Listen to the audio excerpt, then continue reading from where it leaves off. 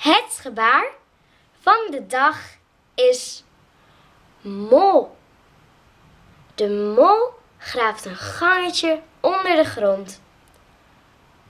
Mol.